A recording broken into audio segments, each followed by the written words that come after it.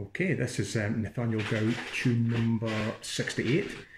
It's a Spey card, Sir Charles Douglas.